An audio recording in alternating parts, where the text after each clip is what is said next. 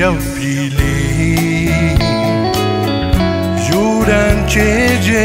ပင်အိုတို့အလားချင်းလေပြဲ ။နေရာတင်နဲ့လိုက်ဖက်တဲ့ချင်းတွေလည်းအများကြီးရှိပါတယ်။အဲ့ဒီထဲကမှကျွန်တော်ရဲ့မှတ်ဉာဏ်လေးကိုဒုံနဲ့တက်ခနဲ့ရောက်လာစေတဲ့မှတ်ဉာဏ်ကတော့ဒါဗီတာခင်ညိုဆိုခဲ့တဲ့ຫນွေဆိုတဲ့သချင်းပါဒီချင်းကိုလည်းခင်ဗျားတို့အားလုံးရင်းနှီးမယ်လို့ထင်ပါတယ်။ဒီအဖွဲ့စာသားဖြစ်တဲ့ຫນွေရောက်ပြီလေဆိုတဲ့ စာသားနဲ့အစချီပြီးတော့ဒီຫນွေရာသီရဲ့အလှပတွေကိုဖွင့်နှိပ်ထားတဲ့သချင်းပေါ့နော်။လူတွေမှာအသက်ကြီးတဲ့လူရှိတယ်လို့တချင်းမှာလည်းအသက်ကြီးတဲ့တချင်းရှိပါတယ်ခင်ဗျာဒီဆရာကိုမမောင်လိုက်ရေးပြတဲ့နှွေဆိုတဲ့ချင်းလေးကိုကျွန်တော်တင်ဆက်ပေးချင်ပါတယ်ခင်ဗျာတေးဆရာမင်မောင်လက်ရေးခဲ့တဲ့သချင်းဖြစ်ပါတယ်ကျွန်တော်ဒီသချင်းကိုစသိရတော့ဒါ2017တုန်းကလုပ်ခဲ့တဲ့ Vita Kenyo ရဲ့ live performance ကတီဆိုမှုကိုကျွန်တော်သိခဲ့တယ်အဲဒီတုန်းက Vita Kenyo ကဒီ Madison DY နဲ့အဲ့သချင်းကိုတီးခဲ့ပြီးတော့ဒီ orchestra တွေအစုံလေးနဲ့ပေါ့နော်ဘန်အစုံလေးနဲ့သူဆိုခဲ့တဲ့ version ပေါ့ဒါပြိတ္တအများစုတွေအဲ့ဒီသချင်းကိုအဲ့ဒီ version ကိုပဲရင်းနှီးမယ်လို့ထင်ပါတယ်ဒါပေမဲ့အသက်ကြီးပိုင်းတွေ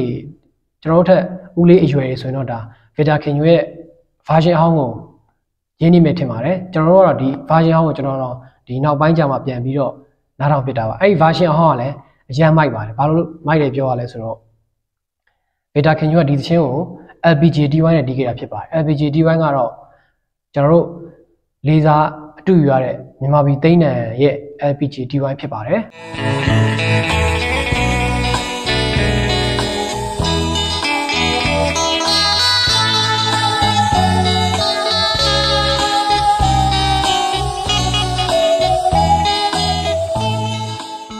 last peace and joy ဆိုတဲ့ DY ပေါ့နော်ကျွန်တော်တို့ငယ်တော့ကျွန်တော်တို့ငယ်တော့မဟုတ်ပါဘူးကျွန်တော် အဖေတို့ငယ်ငယ်တုန်းကနာမည်ကြီးခဲ့တဲ့ DY မှာဒီ DY မှာဒီမြန်မာပြည်သိန်းတန်ကလက်ဂီတာတီးတယ်ဒီရတန်ဂီတာကိုတော့ Vita King ကိုကိုယ်တိုင်တီးပါတယ်ပြီးတော့ drum ကဇော်ဝင်းရှိန်ပါတကယ် line ရဲ့အပြည့်နဲ့ပန်ပေါ့နော်ဒီ play point ကနေခွဲထွက်လာ play point အဖွဲ့ကြီး꿰ပြီးနောက်ပိုင်းထွက်ပေါ်လာတဲ့ LPG DY ပေါ့နော်ဒီ face guitar ဆိုတဲ့ Tommy John လိုက်တီး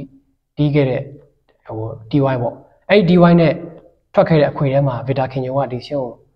ဆိုခဲ့တာဖြစ်ပါတယ်အဲ့ဒီຫນွေဆိုတဲ့ချင်းကတကယ်ဒီ Vita King ရဲ့ masterpiece လို့ပြောလို့ရတယ်လို့ຫນွေရာသီကိုညှို့ဆိုတိုင်းမှာကျွန်တော်တို့စာတွေကြပြားတွေအဆေးတွေမှာမကြာခဏမြင်တွေ့ရလေရှိတဲ့တခြင်းဖြစ်ပါတယ်ကျွန်တော်ဆိုလဲဒါຫນွေရာသီသေးရွက်6တွေကျွေပြီးတော့ရွက်သွတ်တွေဝင်နေပြီးဒီတန်လျက်တွေလမ်းမပေါ်မှာတခိုးထနေတဲ့အချိန်တိုင်းမှာအဲ့ဒီအချိန်ကကျွန်တော်အတွေ့တို့အများကြီးရောက်လာတဲ့တခြင်းဖြစ်ပါတယ် ရင်မလိုက်စုငိုခြင်းသူလက်တူနေသလိုပြီ ဗီတာခင်ညိုကဒီ2017 live မှာတော့မတဲဆုံနဲ့အဲ့ဒီအချိန်ကိုပြန်ဆိုခဲ့တဲ့ version ကလည်းဒီပြည်သက်တော်တော်များရင်းထဲကိုရောက်ခဲ့တယ်ပေါ့နော်အဲ့ဒီတုန်းကတော့မတဲဆုံမှာဒီကိုဇော်လက်ကဒီလိဂီတာတီးပါတယ်ကိုဇော်လက်တီးထားတဲ့လိအလုံးလေးတွေလည်းအရန်လှတယ်သူတီးတဲ့ကာလာလည်းအရန်မိုက်တယ်ဒါပေမဲ့အဲ့ဒါကိုကျွန်တော်အဲ့အကြောင်းပြောဖို့ဒီသချင်းကိုဒီဂီတာ riff တွေပါတခြားနားထောင်တဲ့အချိန်မှာကျွန်တော်ဒီ LPG တီးခဲ့တဲ့မူရင်း version ဟောင်းကိုလည်းကျွန်တော်တခြားသွားနားထောင်ပြီးတယ်တကယ်အဲ့ဒီမှာတကယ်မြန်မာပြည်သိန်းနဲ့တီးခဲ့တဲ့ လက်ခတ်ကိုလည်းကျွန်တော်တကယ်ဟိုဘယ်လိုပြောရမလဲရင်သက်ရှိမောဆိုတာခံစားခဲ့ရလို့ပြောလို့ရပါတယ် LPG အဖွဲ့တီးခဲ့တဲ့တကယ်ဟိုဘိုင်တန်စစ်စစ်ဟိုဘိုင်ဖန်တီးမှုဒီလက်ရကောင်းတစ်ပုတ်ပေါ့နော်ဒီသချင်းကပြောရင်ဒီသချင်းနဲ့ပတ်သက်လို့ဟိုအမှတ်တရကြီးပြောပြရင်တော့ဒီသချင်းရေးခဲ့သူကတေးဆရာမမောင်လက်ဖြစ်ပါတယ်မမောင်လက်ကဗီတာခင်ညွရဲ့သချင်းတော်များကိုသူရေးပေးခဲ့ဘူးလို့ပေါ့နော်ဟိုဗီတာခင်ညွကအဲ့ဒီအခွေထုတ်မယ်ဆိုတော့ဒီသချင်းတော်များများသူကြိုက်တဲ့သချင်းတွေပဲသူရွေးခဲ့တာပေါ့နော် ဒီတေးဆရာရောလည်းသူလိုချင်တဲ့ပုံစံမျိုးတွေတောင်းဆိုခဲ့ရလို့ကျွန်တော်မှတ်ရသိရတယ်ဒါပေမဲ့ဒီຫນွေသချင်းကတော့တေးဆရာမမောင်လက်ကိုယ်တိုင်ကဒီဗီတာခင်ညိုကိုတွန်းအားပေးပြီးဆိုတီဆိုစေခဲ့တဲ့ချင်းလို့သိရပါတယ်ဗီတာခင်ညိုကဒီຫນွေသချင်းကစတူဒီယိုပုံစံမကြမိုနိုမကြပုံစံဖြစ်နေတဲ့အတွက်သူကဒီချင်းကိုအခွေထဲမှာမထည့်ချင်ဘူးလို့သိရပါတော့ဒါပေမဲ့မမောင်လက်ကသူ့ကိုဗာပြောလဲဆိုတော့မင်းကြိုက်တဲ့ပုံစံတွေမင်းဆိုချင်တဲ့သချင်းတွေပဲဆိုတာများပြီဒီခါတော့ဒီချင်းကိုငါအတွက်ဆိုပေးဆိုပြီးတော့ ဒီຫນွေသချင်းကိုသူကတွန်းအားပေးပြီးတီဆိုစေခဲ့တာပေါ့ဒါပေမဲ့အဲ့ဒီသချင်းလေးကပဲဒါအဲ့ဒီခွင်မှာအပေါက်ဆုံးသချင်းဖြစ်ခဲ့တယ်ပြီးတော့ဗီတာခင်ညိုရဲ့ဒီဂီတာသမိုင်းမှာတကယ်မှတ်တိုင်တစ်ခုဖြစ်ခဲ့တဲ့သချင်းပေါ့နော်အရင်တော့ကလူကြီးပိုင်းတွေရောလူလက်ပိုင်းအပြင်ဒီဘက်ခေတ်ကျွန်တော်တို့လူငယ်ပြည်သက်တွေကိုပါကင်လုံနိုင်တဲ့သချင်းဖြစ်ရှိခဲ့တဲ့သချင်းလေးဖြစ်ပါတယ်တကယ်စကလုံးတွေဆိုလည်းအရန်လှတယ်ဗီတာခင်ညိုကဒီသူ့ရဲ့ဖြတ်သန်းမှုကိုကြည့်လိုက်ရင်သူကဒီ pop ပုံစံမျိုးတွေဆိုတယ်ပြီးတော့ country တွေဆိုတယ်အချစ်တချင်းတွေအများစုဆိုတော့ပေါ့နော်ဒီတချင်းကတော့ဒီ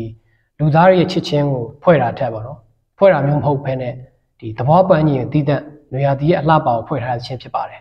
Tuanzia lui bajika Inyo mila si cheta ကျွန်တော်အကြိုက်ဆုံးစာသားကတော့ဒုတိယ verse ကပေါ့နော်။ຫນွေအလှတွေရယ် ဖွဲ့ပြန်လဲပဲစာဆိုတို့မှိုင်ငေးရမှာဆိုရယ်စာသားလေးကိုတော့ကျွန်တော်အရန်ကြိုက်ပါတယ်။နွေရာသီအလှကိုကျွန်တော်တို့ဒီစာရီထဲမှာပြပြဝတ္ထုထဲမှာရုပ်ရှင်ထဲမှာကြပြားတွေထဲမှာတချင်းတွေထဲမှာလူတိုင်းကိုပတ်သက်ရင်းနှီးဘူးသလိုဖွဲ့ဆိုကြတယ်ဒါပေမဲ့နွေလှပြည့်စုံသွားဆိုတာမရှိပါဘူး။ကျွန်တော်တို့အရင်ဟိုးခေတ်ကနေဒီချိန်ထိခေတ်ဆက်ဆက်မှာဒီအမှုပညာရှင်တွေနွေကိုဖွဲ့ခဲ့ကြတယ်။ကိုမြင်မိတယ်လို့ကို perspective နဲ့ကိုဖွဲ့ဆိုရင်မဲ့ဒီ စာဆိုတွေဘလောက်ဖွဲ့ဖွဲ့နှွေရလှအကုန်ဖွဲ့မရှိဘူးဆိုတာမျိုးသူကရေးထားတာပါ chorus ပိုင်းမှာဆိုလဲလူတွေမင်းကိုထုတ်တဲ့စကားလုံးတစ်ခုရှိပါတယ်လွမ်းစရာနှွေပကြီးကတိန်ညိုမိန်လာဆေးရည်ချေထားဆိုတဲ့စကားလုံးပါဗောနော်မိန်လာဆိုတဲ့စကားလုံးဒီစကားလုံးကိုလူအများစုကဒါနားမရှင်းကြဘူးမသိကြဘူးတကယ်တော့ဒီမိန်လာဆိုတဲ့စကားလုံးကလည်းမိန်လာဆိုတာအယောင်တစ်ခုကိုညွှန်းဆိုတာပါဒီတိန်ညိုမိန်လာဆိုတဲ့ဖွဲ့ဆက်က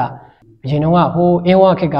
စာဆိုတော့ရှုံးတမကျော်ဖွဲ့ဆိုခဲ့တဲ့ ဒီစကားလုံးပေါ့နော်ရှင်းုံတမကျော်ကသူ့ရဲ့၁၂ရာသီဒေါ်လာထဲမှာ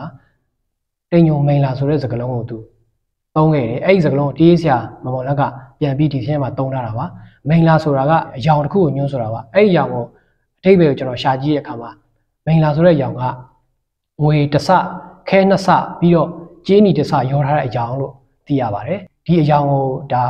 အများအဖြစ်တော့လူတွေကအလွယ်အနေနဲ့ကြီးညိုလို့ခေါ်ကြတာပေါ့နော်ကျွန်တော်တို့အများစုကကြီးနီကြီးဝါလို့သိပေမဲ့ အဲ့ဒီမိန်လာဆိုတဲ့အယောင်ကိုတော့လူတွေကကြီးညိုလို့ခေါ်ကြတယ်အဲ့ဒီအယောင်ကိုပြောတာပါတိမ်ညိုမိန်လာဆေးရေးချေထားဆိုတာတိမ်တိမ်ရဲ့အယောင်အစုံကိုဖွဲ့ဆိုတဲ့စကားလုံးဖြစ်ပါတယ်အဲ့ဒီတခြင်းလေးကတကယ်ဒီသဘောပတ်ဝန်းကျင်အဖွဲ့အနွယ်ကိုနွေရာသီရဲ့အလှပကိုပြည့်ပြည့်စုံစွာခံစားရမယ့်တခြင်းလေးလို့ထင်ပါတယ်တွေအလှတွေရဲ့ဟင်းဖွဲ့ပြန်လေပဲစာစုတို့မိုင်ကြီးရမှာဒီစကလုံးတွေနဲ့ ဒီအဝင်ခွေချဖြစ်တဲ့တန်စင်ပိုင်းကိုလည်းကျွန်တော်နားဆင်ရမှာဖြစ်ပါတယ်ဆိုတော့ဒါကတော့ကျွန်တော်နွေရာသီနဲ့ပတ်သက်ပြီးကျွန်တော်အမြဲတမ်းအမှတ်တရရှိကျွန်တော်မှတ်ဉာဏ်နဲ့ပေါ်လာတဲ့အချင်းအကြောင်းကိုကျွန်တော်ပြောပြတာဖြစ်ပါတယ်ကိုယ့်လူတွေအတွက်ကိုယ့်မိတ်ဆွေတွေအတွက်ဒီနွေရာသီကိုတော့ပူပြင်းလောင်မြိုက်တဲ့ရာသီမျိုးထက်လွမ်းစရာကောင်းတဲ့နွေရာသီစာထဲကြပြထဲမှာဖွဲ့လို့ကောင်းတဲ့နွေရာသီမျိုးဖြစ်ပါစေလို့ကျွန်တော်ဆန္ဒပြုပါတယ်အားလုံးကျေးဇူးတင်ပါတယ်နှွေရဲ့ကောင်းငင်ချီလင်းစွာ လှပနေတဲ့လီ